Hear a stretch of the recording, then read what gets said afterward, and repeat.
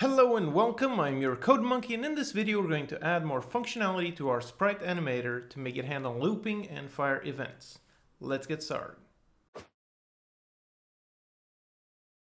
So in here I have the scene from the previous video with my character playing a wonk animation.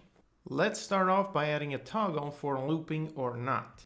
So go into our code here and in here we're going to add a private bool and just call it loop.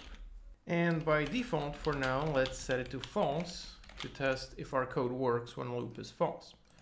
So down here on our current frame, we want to stop the animation if our current frame resets back to zero.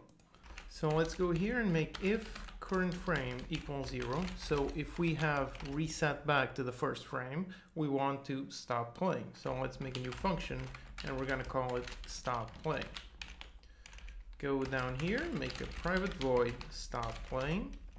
And in order to stop playing, we're going to make a new private bool and call it is playing. By default, set it to true. And in here, when we stop playing, we just set it to false.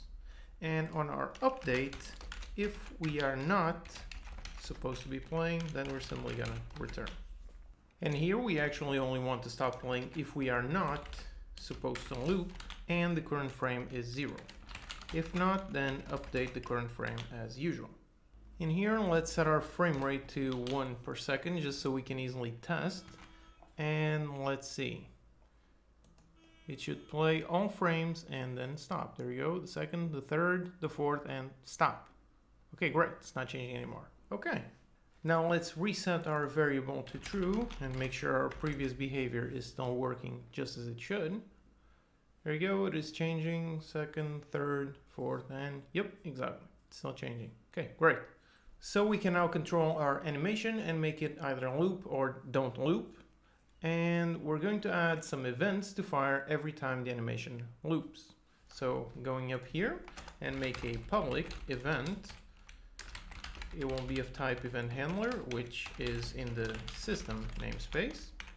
And we're going to call it on animation loop. So this will be fired every time the animation loops. So in here, we're going to fire it if we're back to frame zero. We want to fire it on both scenarios. So let's add another if down here.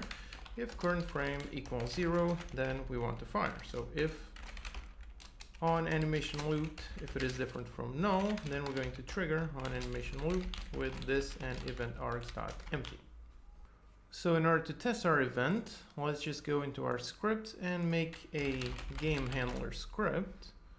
We're going to attach it to our game handler object. And on my game handler let's make a private sprite animator called sprite animator and it's going to be a serialized field, so we can add it in the inspector.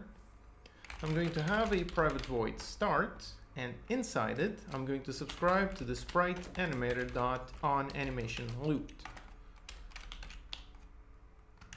Up here, I'm going to be using the CodeMonkey utilities, which as always you can grab for free from unitycodemonkey.com. I'm going to go into the class cmdebug to spawn a text pop-up on the mouse position and just say an on animation loop. Just an easy way to test to see if our events are being fired. Let's see. And yep, you can see it's firing the event every time the animation loops. Great. Now let's set up another event for when it loops but only trigger the first time, which is sometimes very useful. So let's make another public event on animation looped first time. And now on this event will be when the current frame is zero and then we have to make sure we're on the first loop. So we're going to need up here a private int loop counter and let's start at zero. So every time we go back to current frame zero, we're going to increase our loop counter and if loop counter if it is 1, so the first loop has just finished, then we're going to fire our event. The event is on animation loop for the first time. And into our game handler, let's add another subscriber to our event on animation loop for the first time. let's add that one and make another pop-up on the mouse and we'll say that. All right. So now we should be seeing the first pop-up won't pop up with both messages and subsequently only the second message. Yep, everything's working right. As you can see, the first time it popped up both messages and now it's only firing the second event. So there you have it. We took our initial basic sprite animator and we added some loop functionality and firing events.